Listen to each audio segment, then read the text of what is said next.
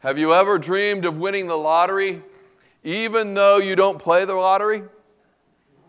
Maybe for those of you that are old enough, you, you dreamed of winning Publishers Clearinghouse or the uh, Reader's Digest uh, sweepstakes that were out there. My mom used to take and she would fill those things out religiously and, and send them in. She would put stamps uh, all over, not, not just postage stamps, all sorts of stamps and, and highlight with marker and different colors to make her envelope stand out as she would send it in, hoping that she would win. And she went even a step further. She would anoint it with oil and pray over it that she would win.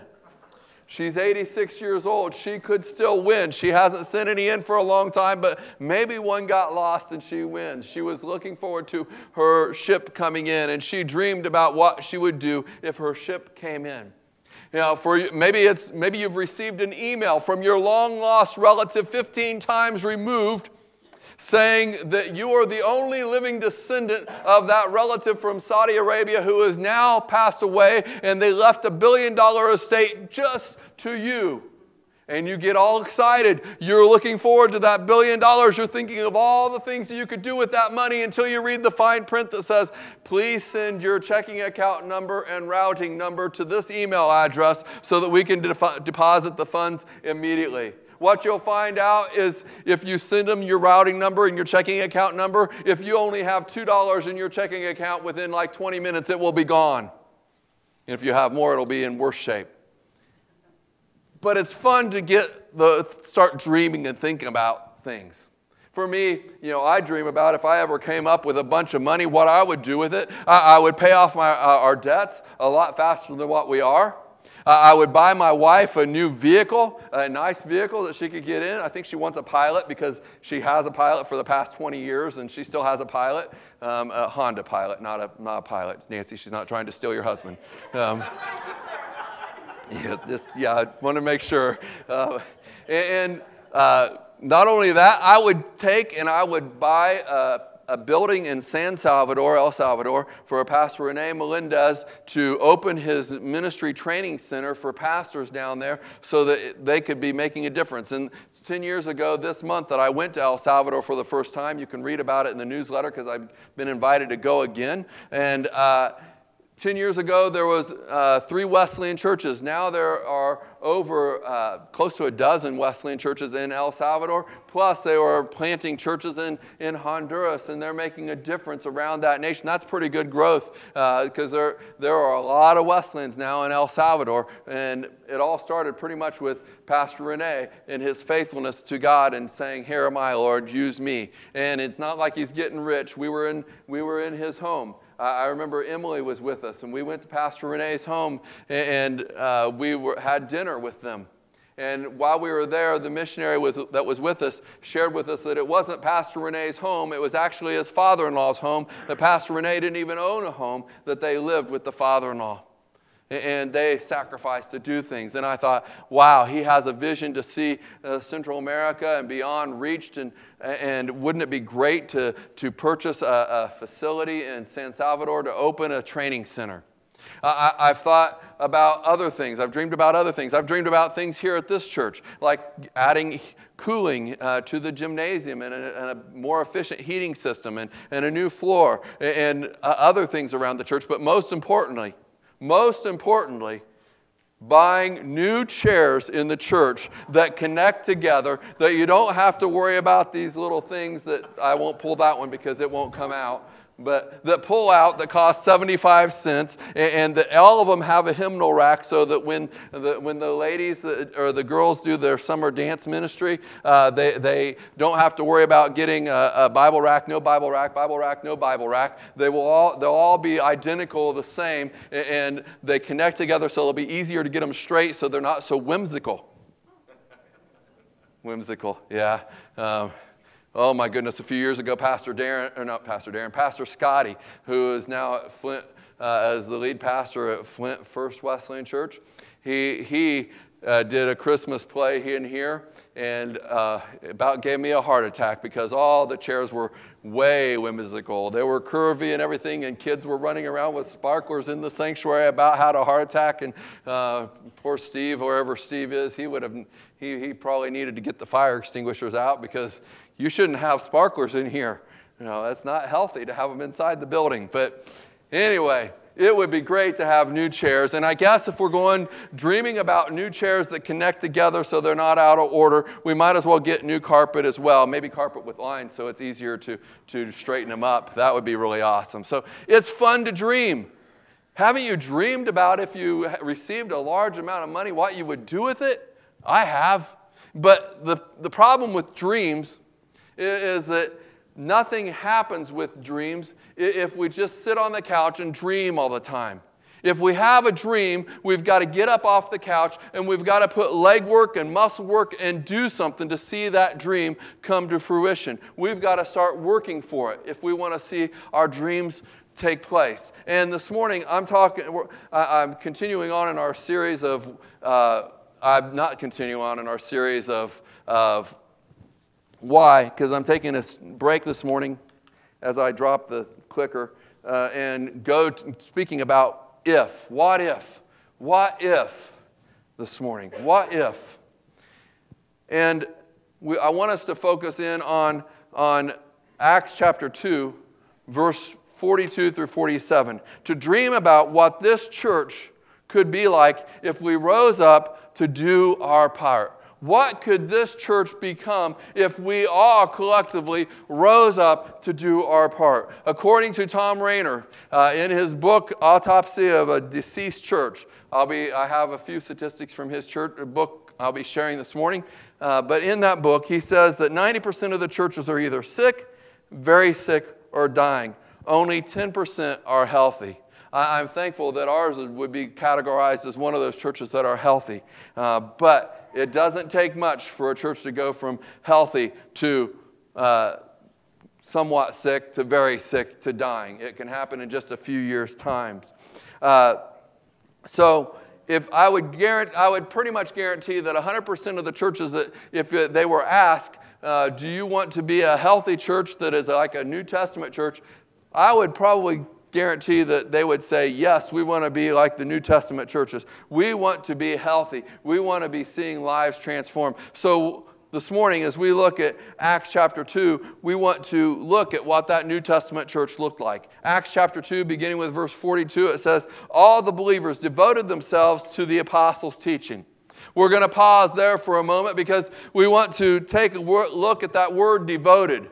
Devoted is more than just being loyal. Devoted has a connotation of, uh, has a deep meaning, like a wild and hungry beast ready to devour its prey. If you've ever watched Discovery Channel or Animal Planet with some animal that has been hungry and they've gotten their prey and it's there, boy, they're fiercely protective of that. They're not going to let anything else get it until they have had their way with it. And, and so, the, what this is saying is the, all the believers devoted themselves. They were protective, they were loyal, they, they were in union together, unified to the apostles' teachings.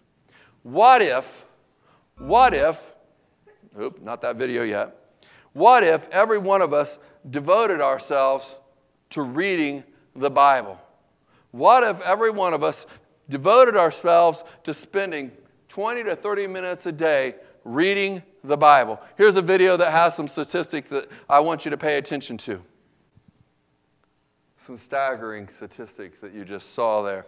You know, what if we who claim to be Christians actually devoted time to reading the Bible? Right now, of adults who say they read the Bible, not all Americans, just adults who say they read the Bible, only 15% of, of adults say they read the Bible daily. And another 13% spend time in the Bible several times a week. Wow. That's just of Bible people that say they read the Bible. Can you imagine what would happen if each of us began to spend 20 to 30 minutes a day reading our Bibles?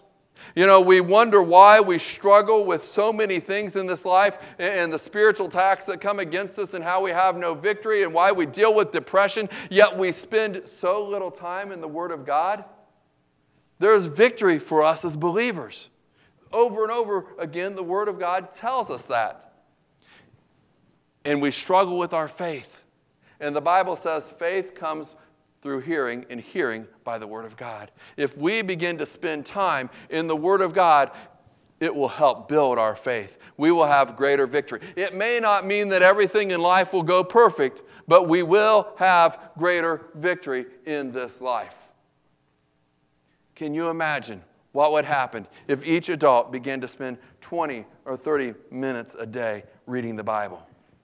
The verse goes on. Uh, not only did the believers devote, remember that word, themselves to the apostles' teaching, it goes on to say, and to fellowship and to sharing in the meals, including the Lord's Supper. What if everyone who called PFWC their church was, got plugged in to a connect and grow group, got plugged in to a small group? This week, Michael sent Pastor Darren and I a, a link to an article uh, that per- fits perfectly with this message this morning.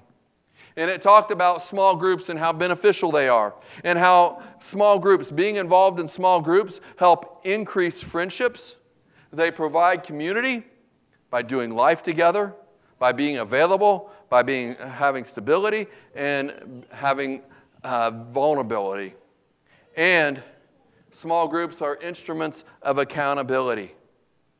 Can you imagine what could happen if everyone who attended PFWC was, became devoted to getting and plugged into a small group here at the church? It's sad when we come in and do our religious duty. And I have to wonder how much of us are really doing our religious duty because so often we're coming in to catch up on gossip or all the other stuff. We come to worship God. And if we are only spending one hour a week in church and not spending time in the Word of God, not finding accountability partners, meeting in small groups, we're going to kind of struggle in our faith.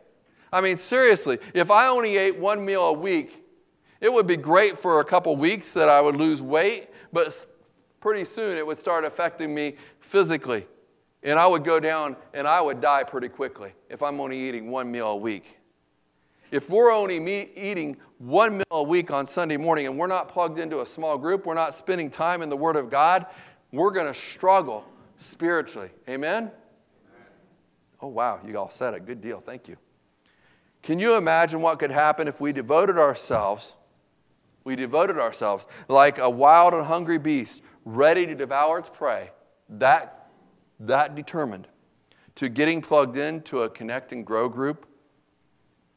And then it goes on to say, the verse continues on and says, and they devoted themselves not only to the apostles' teaching, not only to fellowship, but also to prayer. To prayer. They devoted themselves to praying. What if everyone spent an hour a week praying and gathered with others?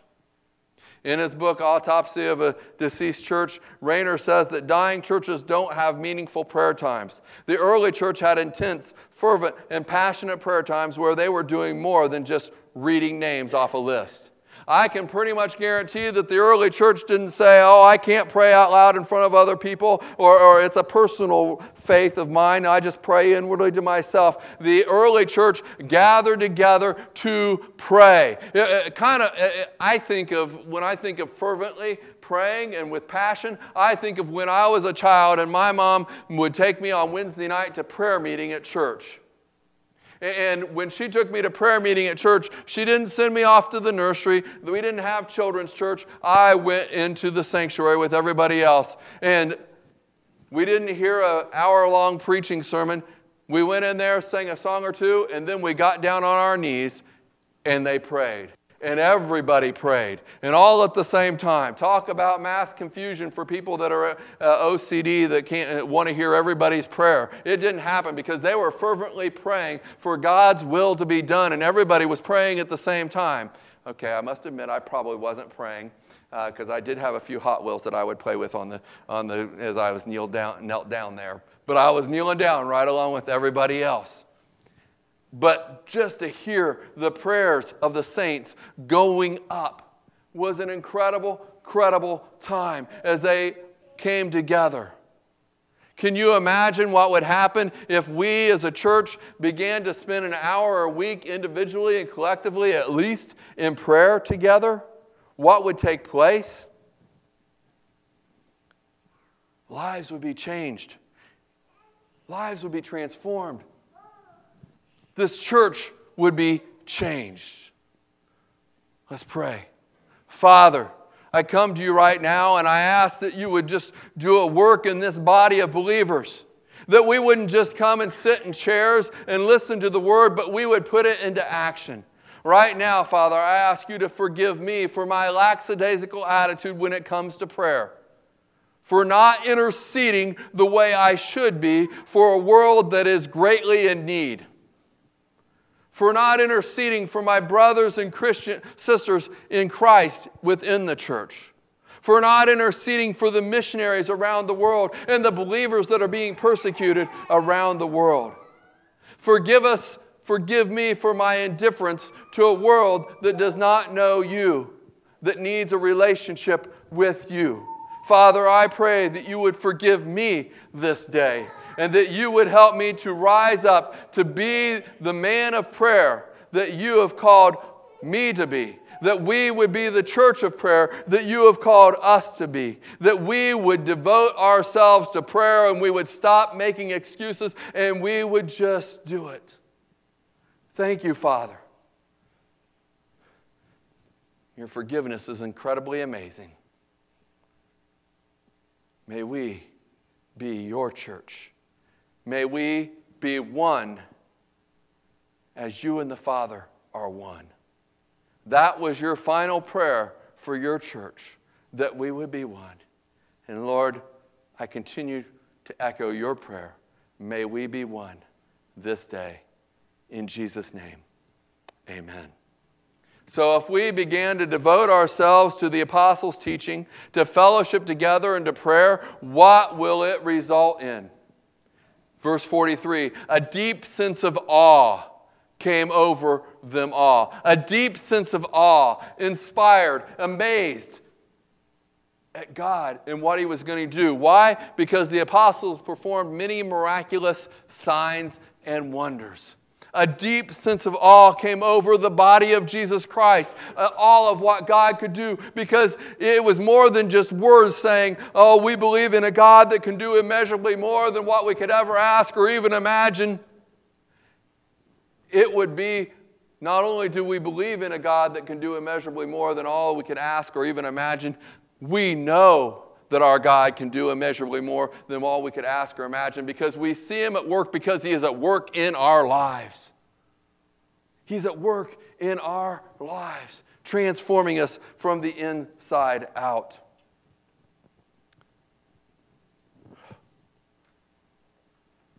As we come together, if we would devote ourselves to those three things the apostles' teaching, fellowship, and to prayer lives would be transformed people would be in awe.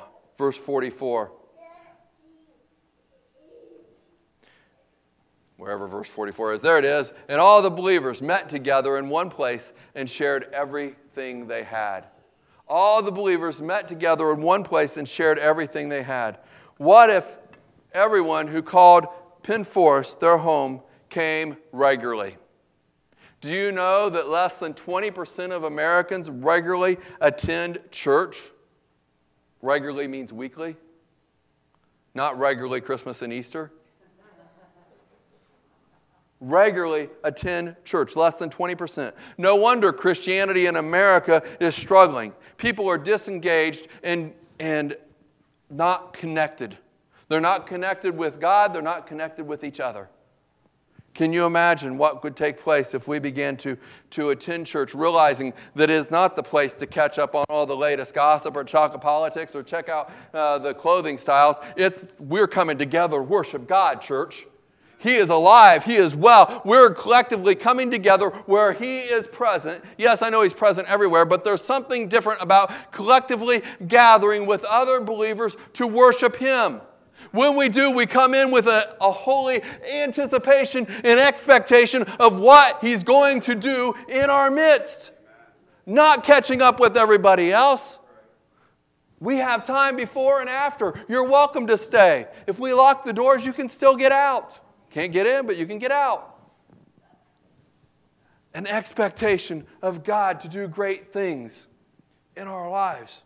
What if, hmm, what if the pastor didn't, this is going to step on toes. I'm sorry. And I'm not being angry today as I'm sharing, I'm being passionate. Uh, some people have criticized Hillary Clinton or Donald Trump because at times they sound very angry when they're sharing. You know, maybe it's just passion. So, so see, I'm smiling. I'm being passionate this morning.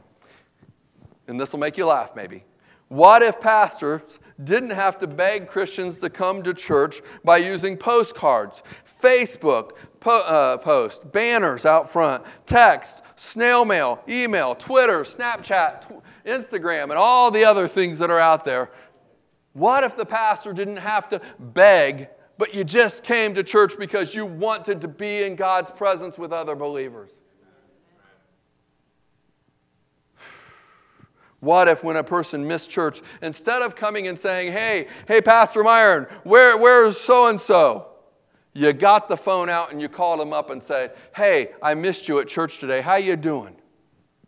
And before you, before you, you, you get all uh, saying, that's right, nobody has ever called me when I miss church, because I, I know I, I, could be that way. I could be saying, Amen, preacher, preach it, preach it, preach it, because nobody's ever called me when I miss church. When is the last time you called somebody when they missed church? There's another toe. Think about it.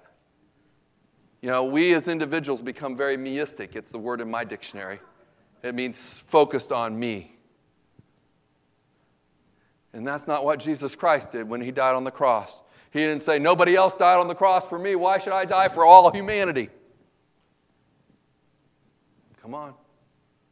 Let's get out of the self meistic thing and start reaching out to, to each other and being the church that He has called us to be. What if everyone took serious the instructions given in Hebrews let me get it there. In Hebrews chapter 10, verse 25, that says, And let us not neglect our meeting together as some people do, but encourage each other, especially now that the day of his return is drawing near encourage each other, especially now that the day of his return is coming near. Pastor, they wrote that 2,000 years ago and Jesus Christ has not returned yet. Well, maybe they didn't quite understand that when Jesus said a day is as a thousand years and a thousand years is a day. You know, I don't know about you, but I know his return is closer now than when you walk through those doors. And probably for the first time in a long time, I, am believing that his return is sooner now. My mom said she's 86 years old, and when she was young, she, or when I was young, she was talking about Jesus Christ was good. She believed he would return in her lifetime. And, she talked about the little barcodes. This is when I was in elementary school, and how they would, some, one day people would just be scanning things at the grocery store, and there wouldn't be any more of this punching stuff in. They would just scan it all. I'm like, no way, mom. And, and, then she said the little marks on the bottom, the three little marks were 666. I don't know whether that's 666 or not, um, but I, I, know she believed that Jesus Christ was going to return, and those were some of the things that she thought very passionately about. Well, last year in December, my mom was on life support. My brother Maurice with muscular dystrophy who made his way up there. It, it, affected him greatly because he doesn't travel much anymore. Uh, he travels to work and comes home because it's too hard for him with the wheelchair, the walker, and everything to get out and do anything. But he wanted to say goodbye to my mom as she was on, on life support uh, because she was going to die. And, and all of a sudden, he was up there. They took her off the life support and she started breathing on her own. I said, for a woman that's wanted to go home and be with Jesus so much, she's sure fighting hard to live. Maybe she was fighting hard to live because instead of meeting Jesus by dying in this world and having him hug her when face to face, she wanted to be part of the rapture when he raptures the church out. I don't know. She's still alive, 86 years old, and it could come. When you start hearing about, uh, which we've been hearing for some time, Republicans, Democrats, about this New World Order and the one world government and open borders and all this other stuff from all sides, you have to start thinking that maybe something in Revelation is coming to pass. Doris Powers, I told her I wasn't the big, the big uh, prophecy person that she was. She said, but the verse is very clear that we're supposed to watch. And I don't know about you, but as I'm watching and as I'm seeing, I'm thinking that Jesus Christ is going to come sooner than I thought. And I need to be prepared. And I have a job to do. And that wasn't in the script. But, church, we've got to wake up. Can you imagine what could happen if we devoted ourselves to encouraging others to be in church, calling them with genuine concern when they are missed? Could you imagine what would take place?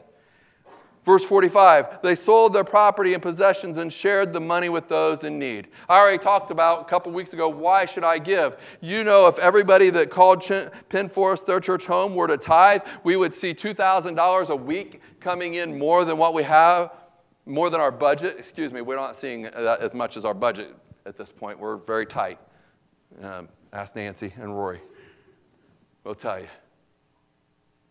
Can you imagine $100,000 a year more coming in? We wouldn't stand up here whine about uh, the fire alarms and, and drinking fountains and doors. We wouldn't beg for people to have to donate stuff for blessing bags to be able to help and give out to the homeless. We would be able to have those funds to make a difference and to reach out if we all rose up and took God at His word and said, Yeah, I trust you, God. I'm going to do what you said. What if everyone who called PFWC their church home stepped up to serve just one hour a week at church or in our community? If everyone did that, there would be 10,140 hours of service that would be going on. We could be making a difference in great ways. Missions trips, uh, the city, city, what's it? City mission, something that uh, Pastor Darren and Nancy and, and Freddie were going to check out yesterday, where you go in once a month to, to the projects and you serve breakfast and you tell them about Jesus and you have freedom to be, be able to do it. That's pretty impressive. And share the love of Christ.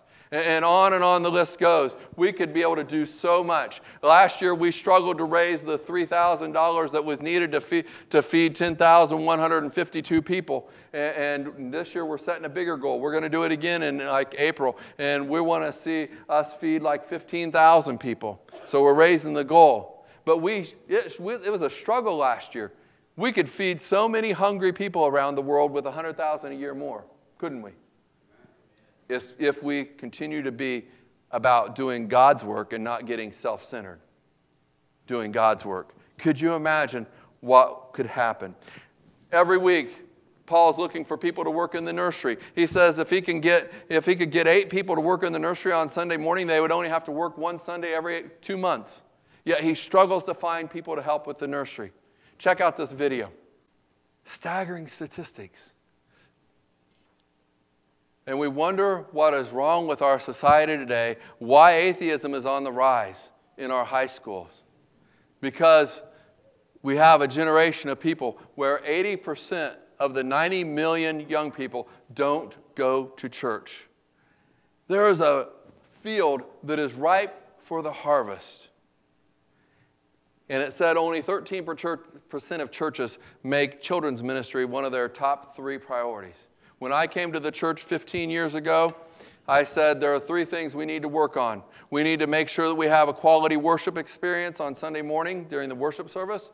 We need to make sure we have a strong children's ministry, and we need to make sure we have a strong prayer ministry. We're still working on all three of those to develop them and make them stronger and better.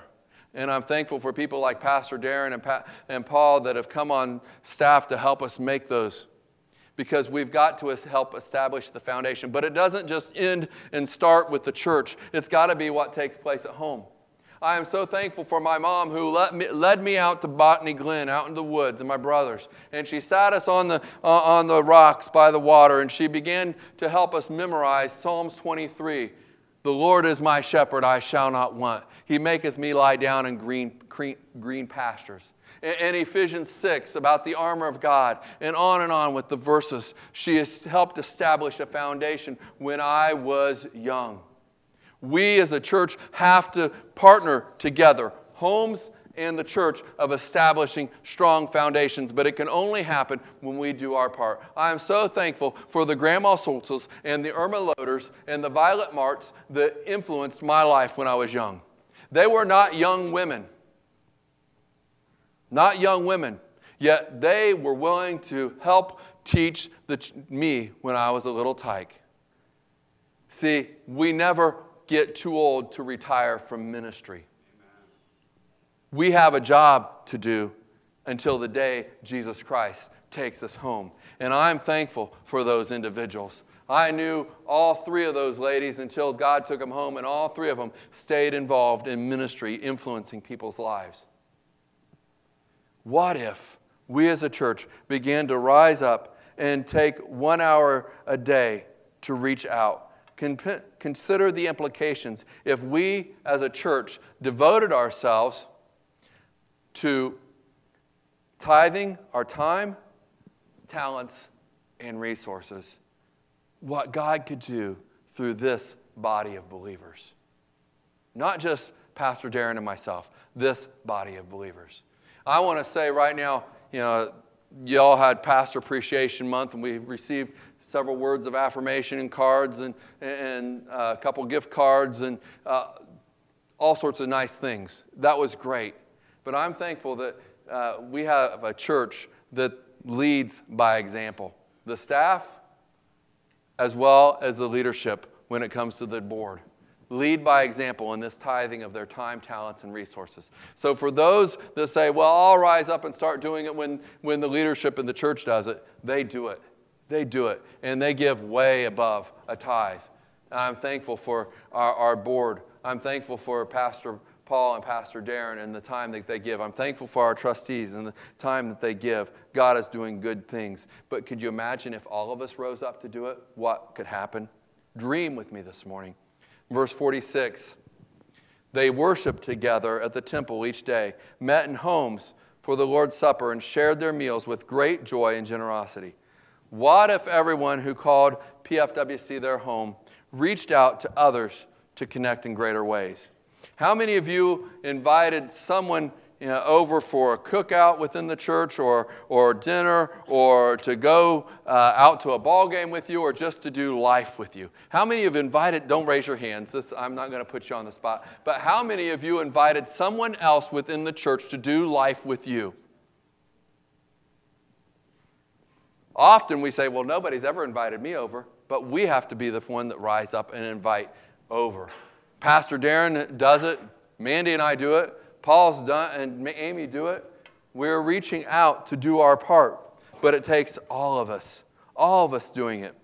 Just imagine if we devoted ourselves to one another like that, where we were reaching out, we were, be, we were building connections and doing life together, what could take place? The unchurched in this world would definitely see something different and they would want what we have. And then verse 47 all the while praising God and enjoying the goodwill of all the people. And each day the Lord added to their fellowship those that were being saved. Those that were being saved. In the book Autopsy of a Deceased Church, Rainer writes Members of dying churches really didn't want growth unless that growth met their preferences and allowed them to remain comfortable. I want to let you know this morning that if we become the New Testament church that God has called us to become, people will come in with baggage. They'll come in messed up. It will make you feel uncomfortable. But you know what? As they come into the church, their lives will be changed. As they become more and more like Jesus Christ, and their baggage will be left at the altar and at his feet. We have a job to do. We have to reach out to a world that is in need. On any given Sunday, two thirds of the population of Roanoke are not in church. One third of those individuals n- never step foot in church. The greater Roanoke area has over uh, an estimated 300,000 people that live in it. That means there are 100,000 people that never go to church.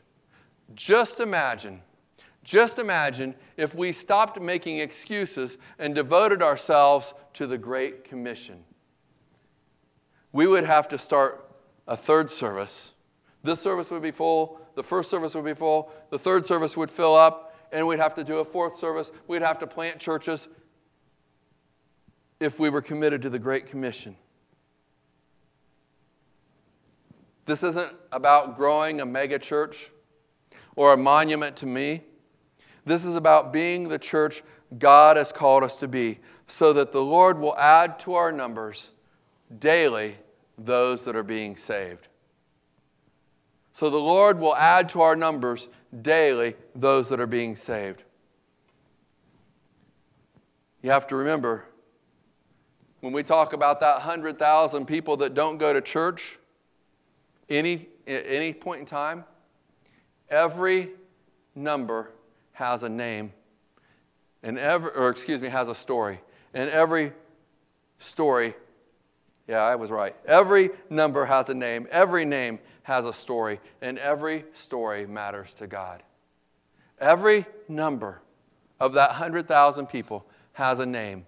And every name has a story. And those stories matter to god this morning this is about raising up disciples that are radically committed to Jesus Christ. This is about relentlessly pursuing Jesus Christ and the people that he loves, living a holy life, saying, you know what? I'm tired of pursuing the things of this world. I'm going to pursue Jesus Christ. You know how many people unfriend me from Facebook because, of, because they're starting, they start pursuing the things of this world and, and I call them out on it? We, we, we probably ought to, you know, that, be a little more careful with what we put on Facebook, by the way. It, it, it's not a place to put all of our dirty laundry. And if I call you out on something, I would hope that you would call me out on something as well if I'm pursuing the wrong things and I've been called out. But we as a church have got to pursue Christ and the people that he loves. Jesus Christ looked out over Jerusalem and he said, Oh, Jerusalem, Jerusalem, as he wept, how I long to gather you under my, uh, like a, a mother hen gathers her chicks. He wept because they were lost. He le- wept because of their lost.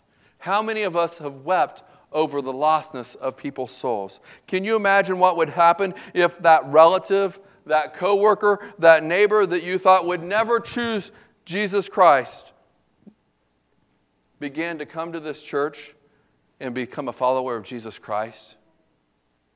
Can you imagine the excitement and the joy? You know, the Bible says that the angels in heaven rejoice when one, when one sinner comes home. Can you imagine if we have a, a plethora, a bunch of people coming to know Jesus Christ week in and week out because we have been faithful to praying, we've been faithful to the, reading the Bible, we've been faithful to reaching out and, and making disciples of others? Can you imagine what would happen if so many people were coming to know Jesus Christ? there would be a huge monumental celebration. It would blow away anything, any rally that Donald Trump or, or Hillary Clinton has ever had. It would blow it away, the celebration that would take place. And shouldn't that be our goal? You know, we get all excited about different teams. The Cubs, yeah, they won. Woohoo! First time since 1908. Big, massive rally.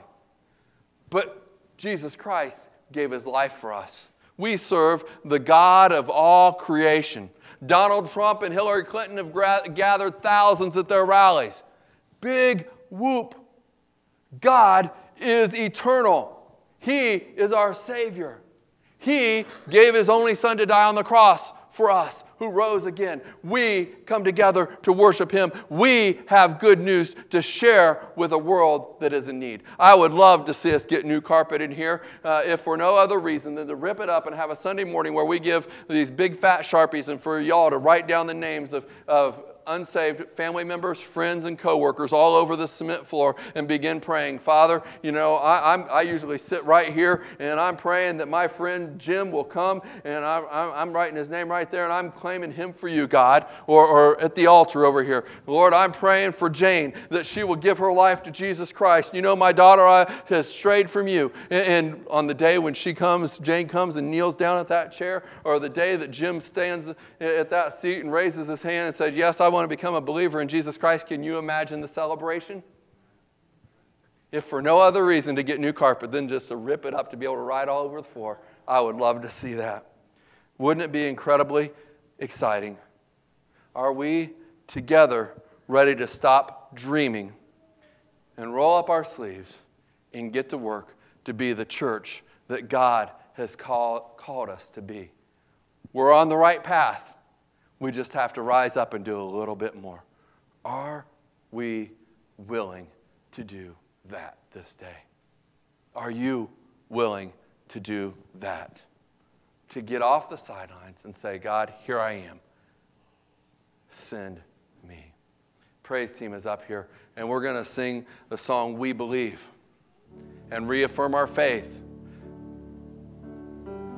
It's the foundation of everything that we believe about Jesus Christ, about God, about that He is the hope of the world. Church, we must rise up and be His church. We must.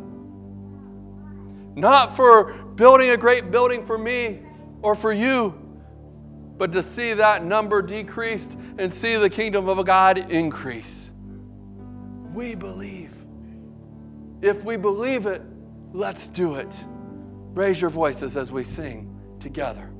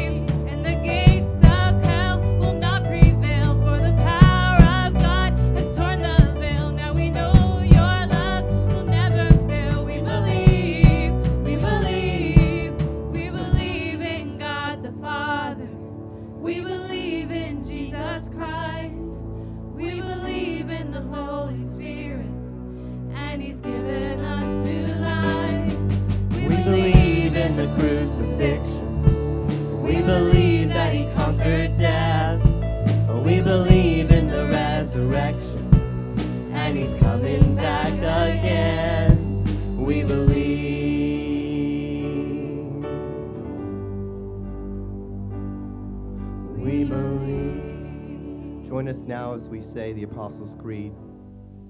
I believe in God the Father Almighty, creator of heaven and earth, and in Jesus Christ our Lord, who was conceived by the Holy Spirit, born of the Virgin Mary, suffered under Pontius Pilate, was crucified, died, and was buried.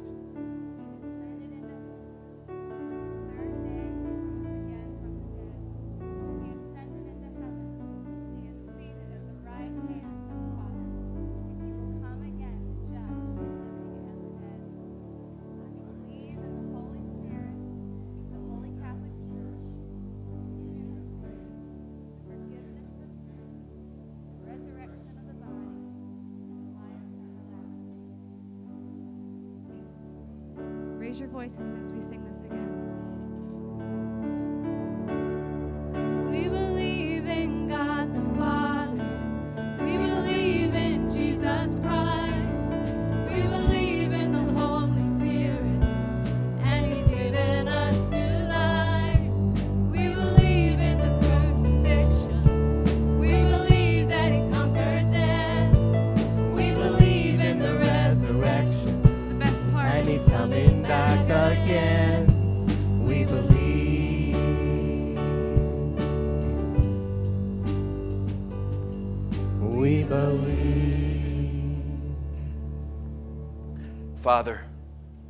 We stand in your presence right now,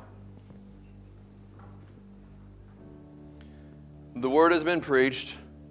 We've heard the scripture. We've sung the songs. Your Holy Spirit has been speaking. I pray that we will not just hear the words, and as my mother used to talk about how I let it go in one ear and out the other, that we will put them into action this day. That we will truly be your church. And just as you prayed, it's your last prayer that we would be one just as you and your Father are one. I pray that we will be one. That we would stop making excuses. We would stop making everything else a priority. And that we would begin to commit ourselves to the apostles' teaching, to fellowship, and to prayer so that we can reach a world that desperately needs Jesus Christ. Thank you, Father, for doing just that this day. And now may the blessing of, blessings of God the Father, God the Son, and God the Holy Spirit be upon each one of you. May He make His face to shine upon you this day, give you a peace, give you joy, give you hope, and give you courage, both now and forevermore. In the name of the Father, and the Son, and the Holy Spirit, we pray. And all God's people said, Amen. Go in peace to love, our, love and serve our risen Savior, Jesus Christ. And don't forget the 4 o'clock prayer time.